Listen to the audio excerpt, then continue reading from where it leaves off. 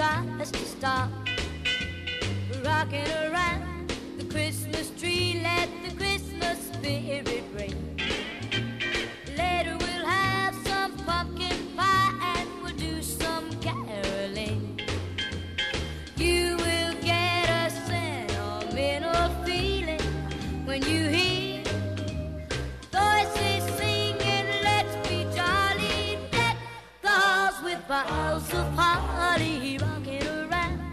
Christmas tree, have a happy holiday.